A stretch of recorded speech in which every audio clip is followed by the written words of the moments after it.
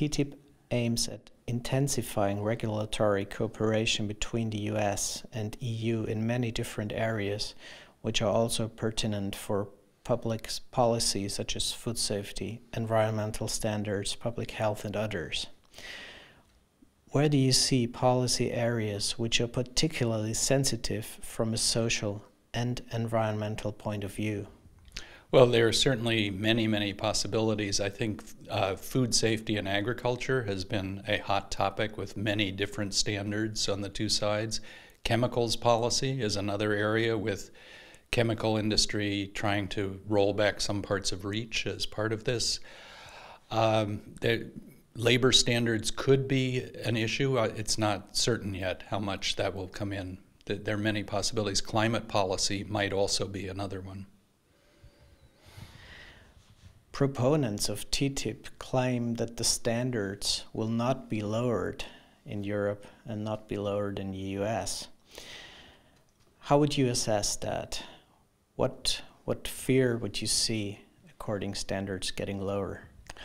It's very nice to say that, but I'm not sure that's part of the whole discussion. The ISDS, now renamed, but the uh, investor rights which are built into the system that allow investors to sue governments could quickly lead to uh, reductions in standards.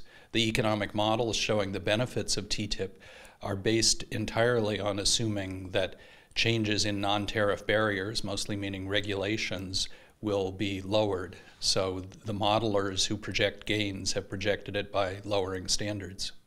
You have done a lot of research on costs, benefits, cross costs analysis, cross benefit analysis. What is the main trouble with doing that?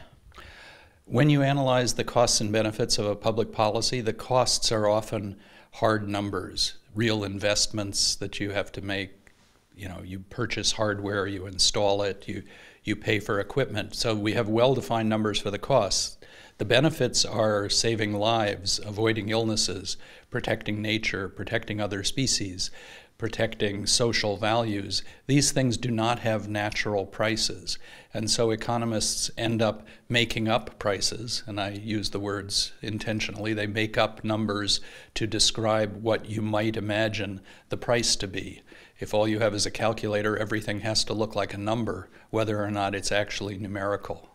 What should a model, a new model, an alternative model, according trade, according economics, according free trade especially, what should a new model take into account?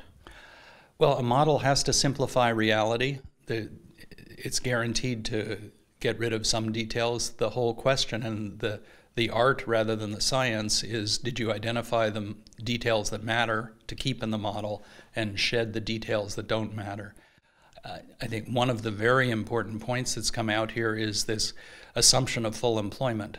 The standard models that project benefits from TTIP are all what's called computable general equilibrium, CGE models.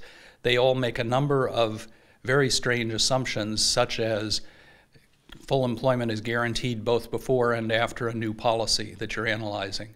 So if you project that your CGE model shows that there's no loss of jobs, that's not an output of the model, that's an input. You put it in. So it, it doesn't really count as something that you discovered.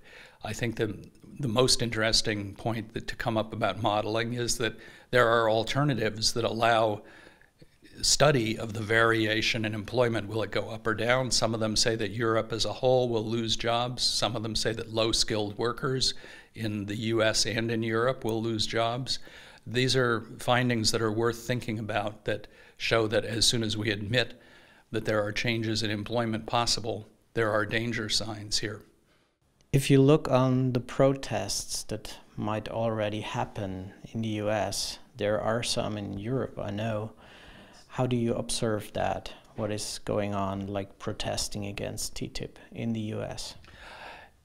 In the US, you have a wide division of political opinion. So you have the progressive end of the spectrum, you have unions, environmental groups, many NGOs which are protesting. You now have both of the Democratic Party candidates for president, uh, Hillary Clinton and Bernie Sanders, are now uh, opposing this kind of trade negotiation in the Other elements of the Democratic Party, I think, are still more committed to the corporate free trade agenda.